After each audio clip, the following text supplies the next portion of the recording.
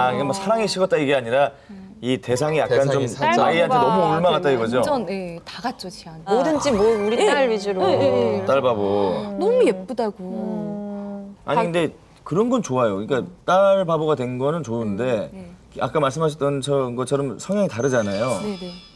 그걸로 싸움이 좀 잦았다는 얘기가 있던데요. 어, 그러니까 종고 오빠는 당하는 느낌이고 저 혼자 막 이렇게 하는 느낌이죠. 그냥 다다다다다다다 이쪽에서 하고 있으면 노래 부르. 하다가 저는 약간 방으로 들어가서 성경 푸시고. 저는 약간 두고 바라면서 복수 차원에 그 임신했을 때도 비가 막 내리는 거예요. 어, 오빠한테 너무 속상해서 집을 뛰쳐나간 거예요. 그러니까 이거- 비를 한 시간 동안 맞고 들어온 거예요. 근데 자고 있더라고요. 그러니까 저는 기도하다 잠든 걱정하라고 나간 건데 어. 자고 있더라고요. 어. 와 진짜 답답하겠다. 그리고 약간 그러면. 고속도로에서 내린 적도 있어요. 그러면 내려놓고 가더라고요. 좀 다혈질이네. 네, 좀 그, 아니 그래서 그걸 한 2년 하고 났더니 어. 제가 멍청한 걸 알았죠. 그 본인만 힘들어요 그게. 그렇죠. 저, 어. 저만 너무 힘들더라고요. 네. 그래서 버스를 한 다섯 번 갈아타고 오면서 내가 왜 내렸지 고속도로에서 어. 이런 생각이 막 드는 거예요. 아이고 꽉. 잡혔네 꽉 잡혔어요. 아이고 참. 그래서 제가 오빠를 잡으려고 했는데 드디어 음. 보- 지나고 보니까 제가 잡혔던 거죠.